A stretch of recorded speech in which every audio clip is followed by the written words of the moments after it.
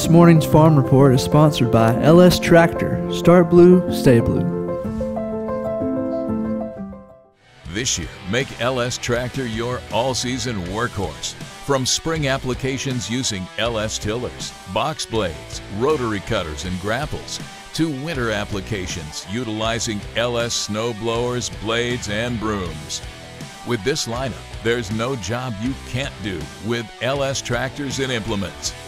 Learn more at lstractorusa.com or check out your local LS dealer.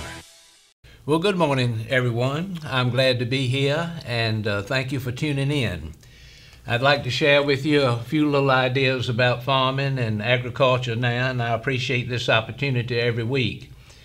We very much appreciate the sponsorship of LS Tractor Company and uh, they are assembled uh, right here uh, in the Rocky Mount area in Nash County, up in the Gold Rock uh, uh, Industrial Park, and we congratulate and appreciate LS Tractor.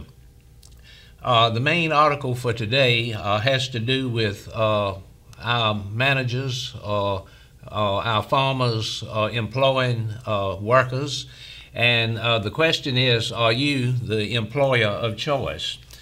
And uh, what I have here are eight tips uh, to attract and keep talent on the farm. Farms often grow revenue one of two ways. They expand or they change business models. In either case, you likely need to hire, train, and retain talented people to make business growth a success. As most farmers might agree, uh, doing so is not as simple as it sounds. Uh, in the Farm Futures National Survey uh, uh conducted in March, 37% uh, of the readers said they faced challenges when hiring workers for their farm. Some 54% said they lost an employee and were unable to find a replacement. Farm operations face a number of headwinds, namely a limited labor pool with few farm experienced applicants as well as other competitive jobs nearby that uh, compete with uh, the jobs on the farm. So, what's the secret uh, sauce to making your operation the employer of choice in your neighborhood? Uh, here's what farmers told us when we asked them to share uh, tips that uh, work for them. number one, encourage learning. Employees need more than just a paycheck. Uh, how can you help them develop as a professional with purpose? Uh, we try to foster growth in our people as they progress through their work life, says Brian Watkins, co founder of Farm Software, uh, Farm Cropzilla, and co owner of a grain and hog farm in Kenton, Ohio. We try to help them add skills and responsibility and become more capable over time. This means they become more valuable to both our business and to themselves. And this process needs to be flexible to match the goals and interests of the individual.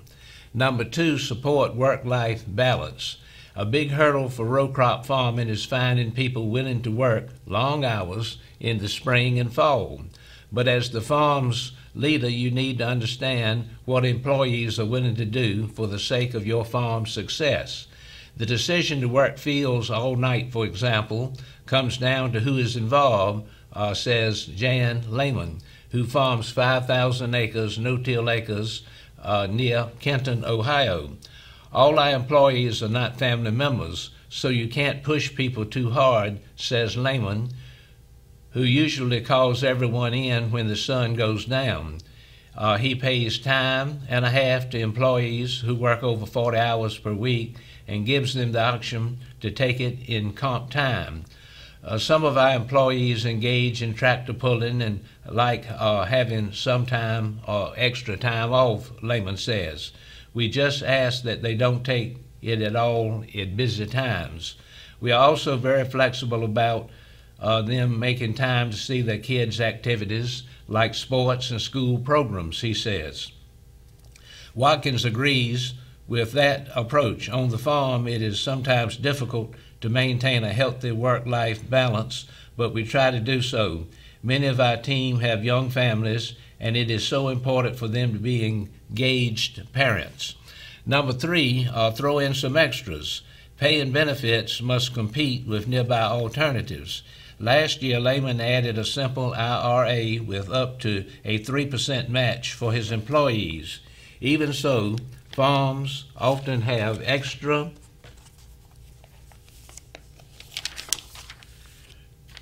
benefits that no job at UPS can possibly compete with. Assets like recreational property, rental homes, or big toys, meaning equipment.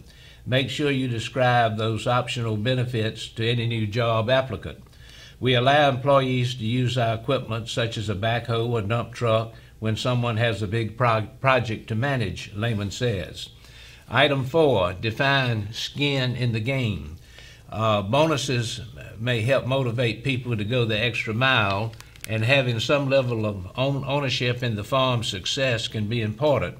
But for many employees, just working for a paycheck at a business they like may be satisfaction enough.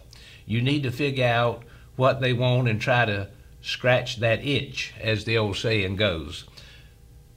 When we do well financially, they do well, Watkins says. Their skin is they are proud of where they work, and they also like uh, who they work with. They want uh, the neighborhood to see them working here as a positive thing. If you get that right, then it takes care of a lot of things. Item five, don't uh, rule out a non farmer. Farms have trouble finding experienced candidates for a job, but is uh, that a deal breaker? Not for Rodney Rulon, who farms 7,000 no-till acres in Arcadia, Indiana, with family members. He says one of the farm's brightest young partners has no farm background, although he does have a degree from Purdue and learned professional farm management uh, practices uh, while there. Uh, the executive program for agricultural producers was one program that he was exposed to. There are some advantages to not being from a farm, Rulon says.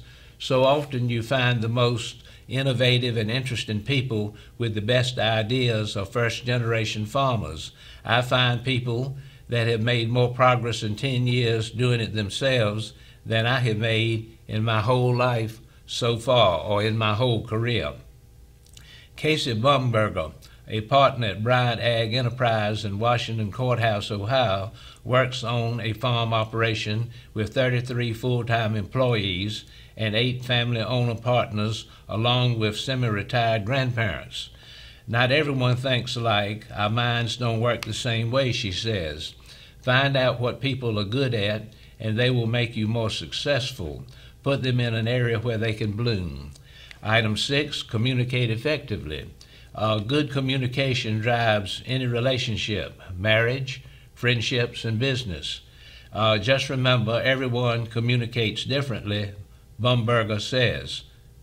Uh, some farm managers put their team on a group text, others just use two way radios. Still, others use tools like Ag Leader during busy times to make sure everyone is on the same page.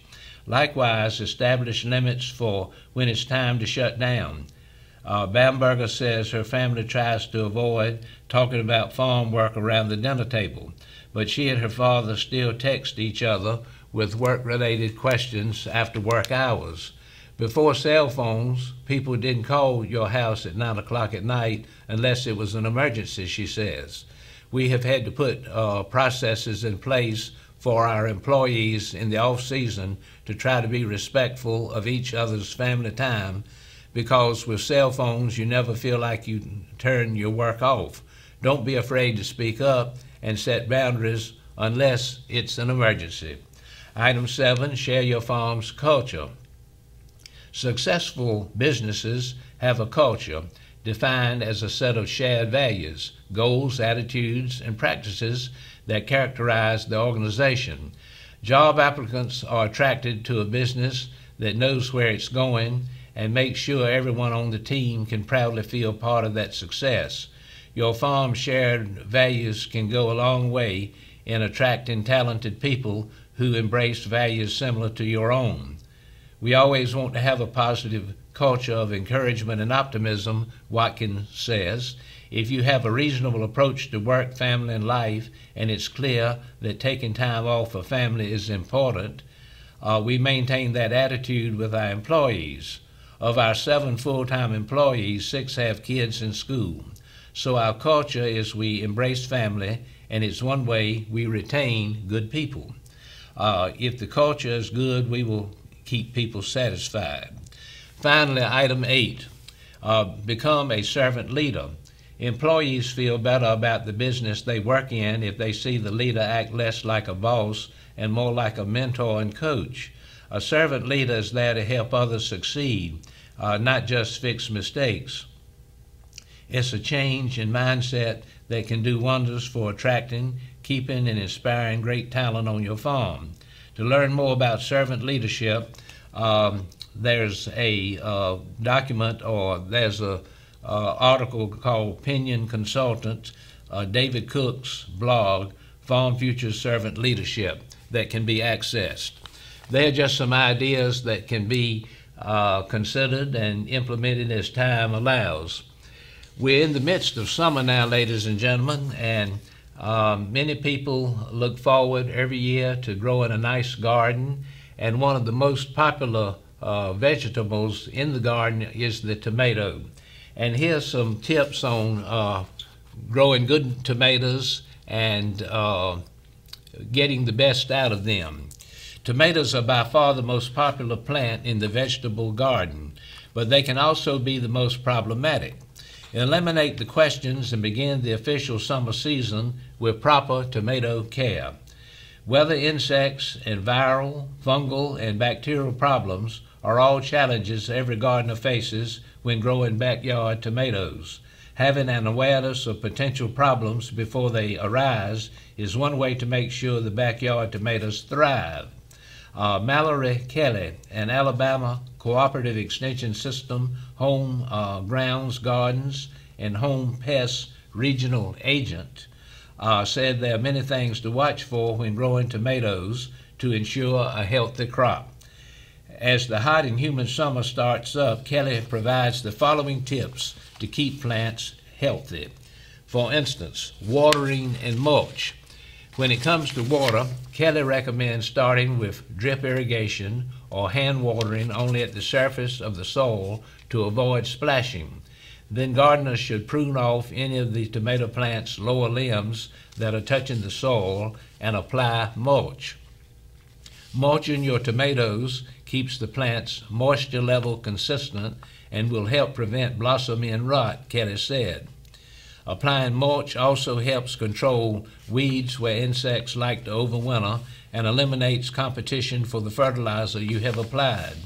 Mulch also creates a barrier between the plant leaves and the soil to suppress many of the fungal problems that come from the surface of the soil.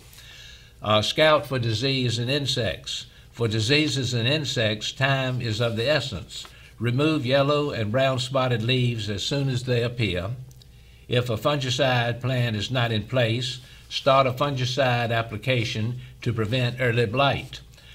No tomato grower can avoid this problem, Kelly says.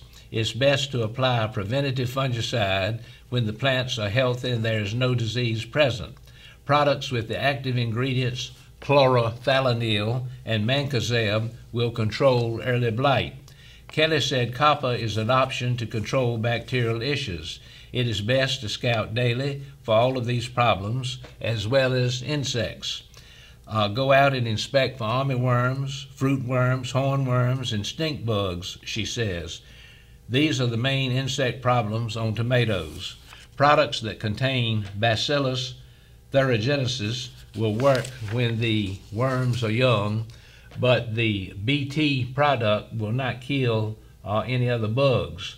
Gardeners can also use products containing carbaryl to control larger worms.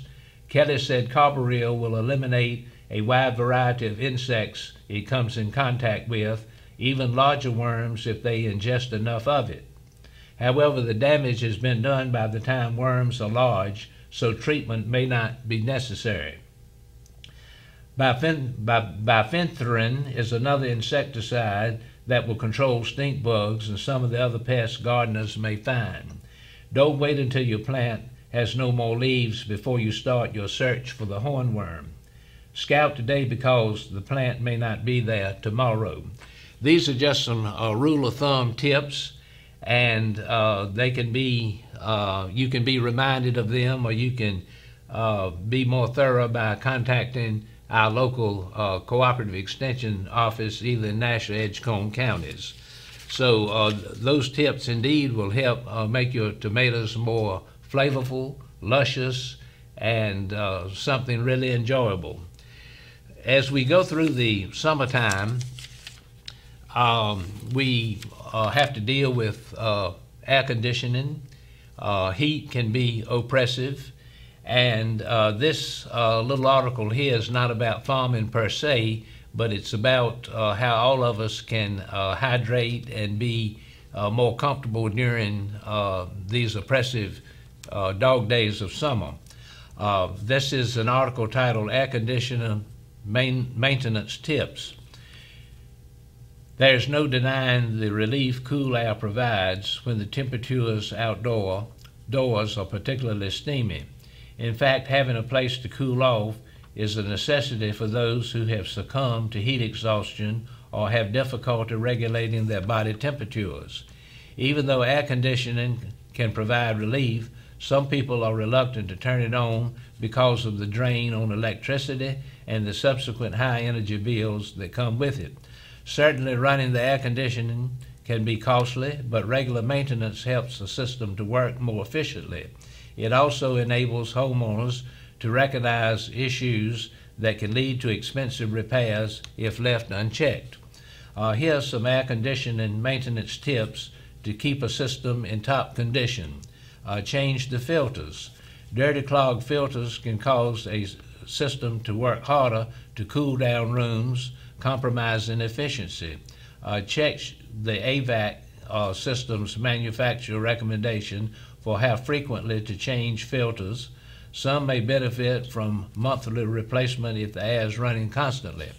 Uh, consider the uh, rating. The filter will have a minimum efficiency reporting value or MERV, that's an acronym, M E R V, according to uh, this old house, which is uh, one of the uh, sources we go to. That's the name of it. The higher the number, the better the filtration. But a higher MERV rating requires more energy to pull air through the filter. Therefore, choose a balance of filtration and energy cost retirements. Uh, maintain the outdoor unit.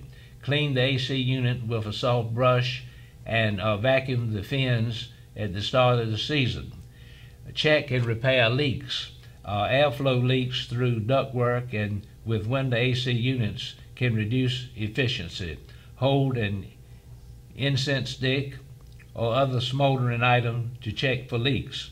Supplement with a whole house fan. Uh, the family handyman document, that is, or booklet or publication, I guess is what I want to say, says an uh, attic mounted fan pushes hot air out through the attic uh, and uh, draws cooler outside air through open windows and doors. Schedule uh, annual maintenance.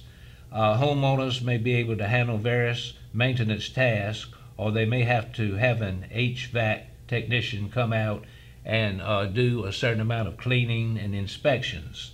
But these are just a few rule of thumb uh, tips that will uh, prolong your air conditioner's uh, efficiency and use and make things better. My time is up. I've enjoyed being with you. Thank you for tuning in. I look forward to being with you next week. Have a good week and God bless.